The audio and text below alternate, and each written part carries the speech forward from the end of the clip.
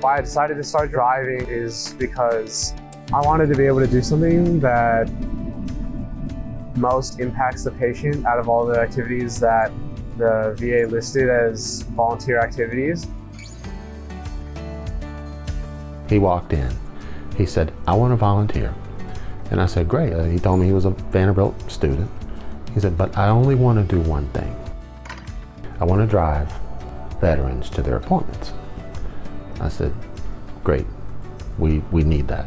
But being a university student, you know, what's your availability? And he says, well, I'm about to be a senior and I know I've got Fridays open.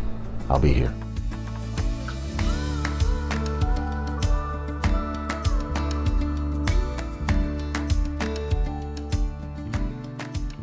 being a friendly driver, asking them about their day, listening to them as they talk, not even just about their like military service or uh, medical condition, but talking about stuff like their interests or their music or their passions, stuff of that nature, listening to their life lessons.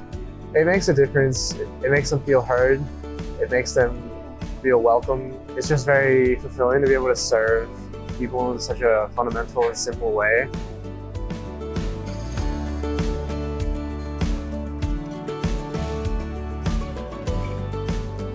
When veterans see his his youth, his enthusiasm, you know, you you see your future in that.